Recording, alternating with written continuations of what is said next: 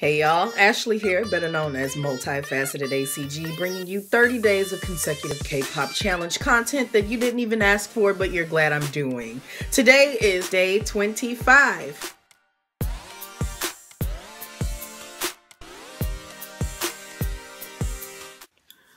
Wow, you know, the logical thing would be to have made this a video with images like I did earlier videos, but I felt like I had front loaded y'all really badly with all that. So I'll talk about it. Um, I don't necessarily want to talk about the groups that you have heard me speak the most about, like my bias groups and things of that sort. In fact, I want to be very specific this time. This is a bias group, but I've not spoken about them that much through this entire series.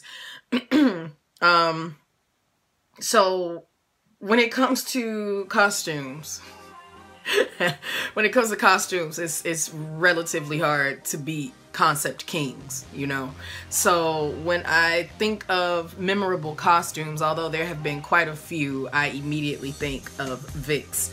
These gentlemen, Lord have mercy, slap everybody in the face three times with the back of your hand. Um, they just they conceptualize such amazing uh, such amazing experiences from start to finish and their costume choices articulate that.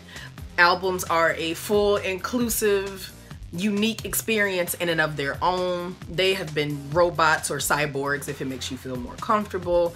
Uh, they have been love slaves. Uh, lord that is just sassy.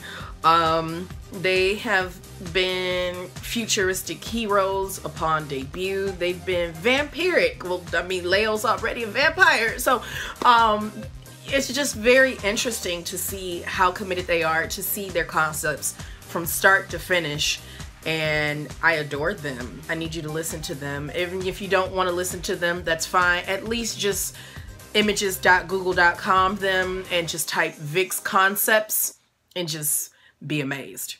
If you like this video, make sure to click the subscribe button as well as the notification bell because it's at least two steps involved with subscribing and getting notice for my channel. Make sure to share it with your other K-pop fans and leave some comments down below. I will check you in the next video. Bye, y'all.